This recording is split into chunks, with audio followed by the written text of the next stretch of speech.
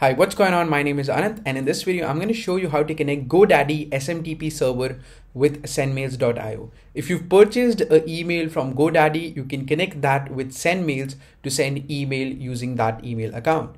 So let me just show you the limitations that you will be having with GoDaddy professional email account. So if you've purchased a professional email account from GoDaddy, the limit that you will be getting is 500 messages per day.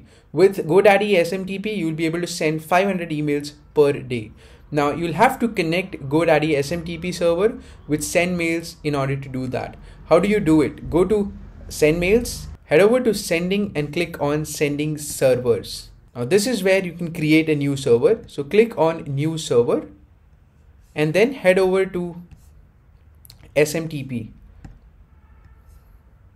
Now this is where you need to fill in the SMTP credentials over here. So as you can see, I've already pulled up GoDaddy documentation. Just make a quick search of GoDaddy SMTP and you will get a documentation which has the SMTP values. So this is where I'm getting the SMTP server's credential. So I'll copy this and paste it over here and the next thing would be the port so I'll copy this.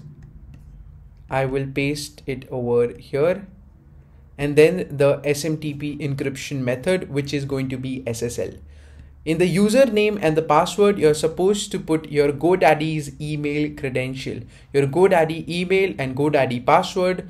Once you put over here click on save and that's how you connect GoDaddy with sendmails.io that is it for today. I'll see you in the next one